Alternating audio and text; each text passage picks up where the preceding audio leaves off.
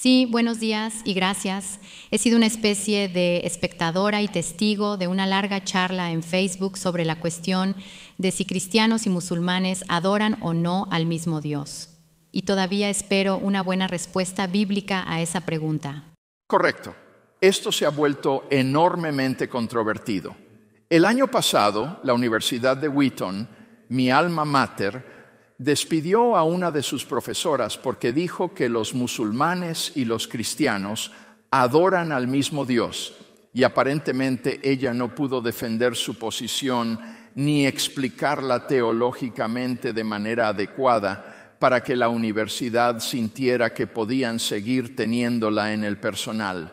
Bueno, esto provocó en la universidad una enorme mala prensa y montones de abusos. Incluso muchos teólogos cristianos dicen que la universidad estaba equivocada, que los musulmanes y los cristianos adoran al mismo Dios y que lo que hizo la universidad fue incorrecto. Bueno, abordé este tema en una de mis preguntas de la semana en el sitio web, probablemente hace uno o dos meses. Así que si vas al sitio web y miras las preguntas de la semana de hace aproximadamente uno o dos meses, hay una sobre los musulmanes y los cristianos adoran el mismo Dios? Y sin querer complicarme demasiado, permítanme decir que la forma en que se formula esa pregunta plantea todo tipo de preguntas filosóficas difíciles sobre lo que significa referirse a la misma cosa. Porque podemos referirnos a algo bajo una descripción falsa.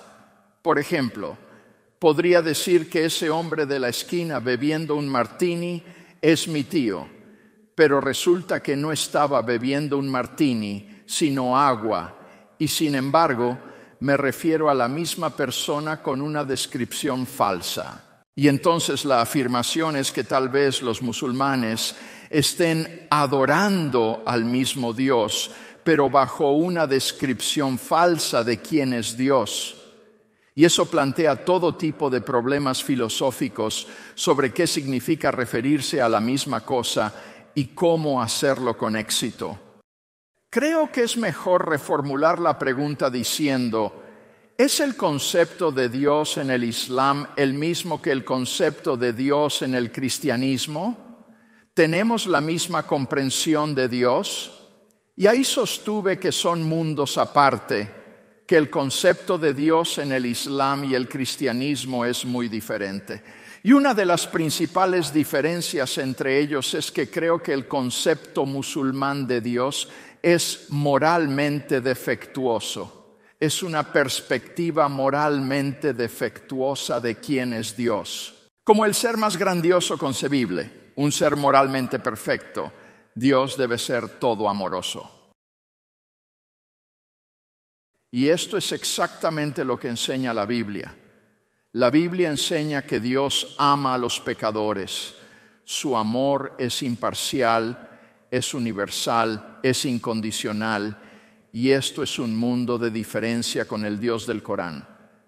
Según el Corán, Dios no ama a los pecadores.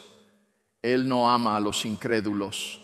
Es enemigo de los incrédulos. Dios en el Corán solo ama a aquellos que lo aman primero, de modo que su amor no supera el tipo de amor que Jesús dijo que exhiben los recaudadores de impuestos y los pecadores. Aman a quienes los aman y ese es el tipo de amor que exhibe el Dios del Corán. Así que el Corán nos asegura el amor de Dios por los temerosos de Dios y los bienhechores, pero no ama a los pecadores ni a los incrédulos. El Corán dice que Dios no ama a las mismas personas que Juan 3:16 dice que Dios ama tanto que envió a su único Hijo a morir por ellos. Cuando aún éramos enemigos, Cristo murió por nosotros.